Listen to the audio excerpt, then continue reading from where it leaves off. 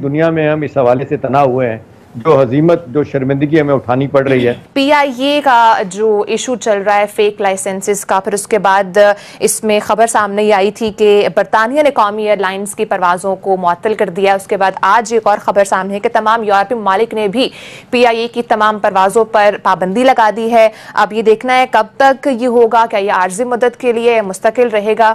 एहतशाम साहब ए के मामले पर आते हैं। जिस तरह से हमने देखा पी आई ए के मामले को किस तरह से पार्लियामेंट में प्रेस कॉन्फ्रेंस करके सबके सामने बताया गया जिसकी वजह से हमें बहुत नुकसान भी हुआ है। पहले बरतानिया ने बाइकआउट किया अब उसके बाद यूरोपियन ममालिक ने बाइकआउट कर दिया तो किस तरीके से इस इशू को एड्रेस किया जा सकता था? आपको नहीं लग रहा कि इस इशू को गलत तरीके से और गलत प्लेटफॉर्म पर एड्रेस किया गया जिसकी वजह से आज हमें नुकसान उठाना पड़ रहा है?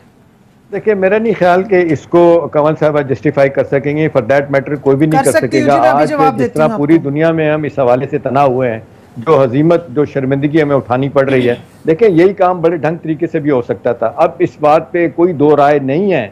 लोग कहते हैं कि जी ठीक है आपने रिपोर्ट इंक्वायरी रिपोर्ट लेके आए आपने ज़िम्मेदारी की। हम्म। लेकिन जिस तरीके से आपने तीस परसेंट पायलट जो है उनके बारे में कहा गया कि जी उनके जाली लाइसेंस हैं डिग्रियाँ जाली हैं भाई, अगर आप इसको इन हाउस बैठ के इसको तय कर लिया जाता मामले को तो ये सब कुछ ना होता। अभी हालत यह है कि छोटे छोटे मुल्क जहाँ पे हमारे पाकिस्तानी पायलट गए हुए हैं, अब कई जगहों पे तो ये आलम है कि जो लोग रिटायर हो चुके हैं, जो अब किसी एयरलाइन में सर्विस नहीं भी कर रहे, उनके भी इसमें नाम आ चुके हैं। अब सवाल है कि सारी दुनिया, अब देखें, दो दिन के लिए बड़ी मुश्किल से हुकूमत ने मिन्नतें करके कहा गया कि जी हमें तीन जुलाई तक हमें ऑपरेशन इजाज़त दी जाए यूरोप के बाकी जगहों पे हम्म। वरना सारी पिया ये सारी टिकटें वापस कर रही। अब देखें पॉलिटिकली पॉलिटिकल माइलेज लेना तो बहुत अच्छी बात होती है। आपने बड़े इल्ज़ाम लगा दिया कि जी ये सारा काम इन Peoples Party P M L N का इन्होंने नायल लोगों को भर्ती किया हुआ था। सवाल यह है कि इसको अगर पराए में कर लिया जाता ढंग तरीके से किया जाता अब ये नहीं पता लोग कहते हैं कि जी ये शहरी हवाबाजी के वज़ीर ने अपने तौर पे किया लेकिन प्राइम मिनिस्टर ने कल ऑन किया अपनी पार्लियामेंट की तकरीर में कि मैं क्यों इसके जिम्मे लेता। लेकिन मेरा ख्याल है कि ये बहुत बड़ा फोफा हो गया। इससे हमारे लिए बड़ी मुश्किल पैदा हो रही हैं। पाकिस्तान को बाहर हर सतह पे इस हवाले से जो देखा जाए वो उठानी पड़। रही है। अब आइंदा आने वाले दिनों में क्या होगा? लोग तो इल्ज़ाम लगा रहे हैं। आज बिलावल भुट्टो ने भी इल्ज़ाम लगाया। ये सारा कुछ इसलिए किया जा रहा है कि पी आई ए अपने क्रोनीज जो है ना उनको देने के लिए किया जा रहा है। वो जो न्यूयॉर्क का होटल है वो पी आई ए का वो देने की कोशिश की जा रही है कि किसी और को दे दिया जाए। तो सवाल ये कि इसको जिस तरीके से हैंडल किया है, मैं कहूँगा बुरे तरीके से मिस हैंडल किया गया इस मामले को। भाई ठीक है, एक जहाज़ गिरा, लोग उसमें शहीद हुए, आप ज़िम्मेदारी फिक्स करते, लेकिन ये तरीका क्या है कि जी आपने पुराने सारे खाते खोल के रख दिए, आज जो कोई आप पाकिस्तानी पायलट जिनके बारे में कहा जाता है, यही पाकिस्तानी पायलट है जिन्होंने बाहर की एयरलाइनों को चला के दिखाया। चाहे एमिरेट्स हैं, कोई और एयरलाइन है मलेशिया की एयरलाइन है आज हम देख रहे हैं कि हम बिल्कुल कॉर्नर होकर बैठ गए। अब इसका तो जवाब देने जवाब। ठीक है ठीक है। स्टैंडिंग कमेटी में भी बात उठाई गई कि फेक पायलट के लाइसेंसेस उन्होंने डिनाई किया। उन्होंने कहा जो भी इंजीनियर्स भी चाहे फेक डिग्रीज के साथ आए हुए जिनको भी हमने एम्प्लॉयमेंट दी हुई है काइंडली आप उनकी ना तनख्वाहें इस बार मामले में ना रोकें बल्कि आप उनको हाफ़ कर दें। अब आप बताएँ जो दस लाख रुपया ले रहे हैं वो पाँच लाख रुपया भी ले और फेक डिग्री के साथ इंजॉय करे। इसके ऑन टॉप ऑफ़ इट आज से कुछ चार पाँच पहले इन पे केसेस किए गए तो उस पर उन्होंने जाके स्टे ले लिए और आठ या नौ ऐसे मुलाजमीन हैं फेक डिग्री होल्डर पायलट्स जो जहाज़ नहीं उड़ा रहे लेकिन पीआईए से तनख्वाह ले रहे हैं।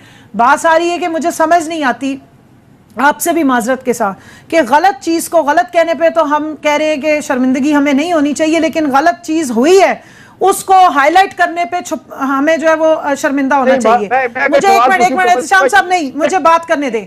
आप पूरी दुनिया जिनकी आप बात करें कि हमारी सुबकी हुई, आप मुझे सिर्फ़ ये बता दें, अल्लाह की, अल्लाह जानता है, कौन गारंटी दे सकता है कि अगर फेडरल गवर्नमेंट या आपके पास एक इंक्वायरी रिपोर्ट आ गई है, इस दौरान में खुदा ना खासा अगर कोई पायलट फिर किसी जहाज़ का हादसा कर बैठता और वो फेक डिग्री होल्डर होता फिर जो डैमेज होना था उसको कौन बताता? कहा ये जा रहा है कि इशू को हैंडल गलत किया नो, गया। नो देखें सोशल मॉरल हमारा इतना फारिग हो गया कि जब हम ये जस्टिफाई करते हैं ना कि कोई खाता है तो लगाता भी है। ये एग्जैक्टली उसी तरह है। जिन्होंने गलती की वो डिटाई से बेशर्मी से आके प्रेस कॉन्फ्रेंसेस कर रहे हैं। उनके जाली लाइसेंस हैं जाली डिग्रियाँ उनको दोबारा जहाज़ उड़ाने की ज़रूरत नहीं होनी चाहिए थी। किसी सूरत में इजाज़त नहीं मिलनी चाहिए थी। आप मुझे बताएँगे सारा सारे डॉक्यूमेंट और सारी चीज़ें हुकूमत के पास आ गई। हुकूमत को पता है ना इनके खिलाफ क्या एक्शन लेना है। तो उनको आराम से एक्शन देते इन आउट एक्शन देते जिस तरीके से तशहीर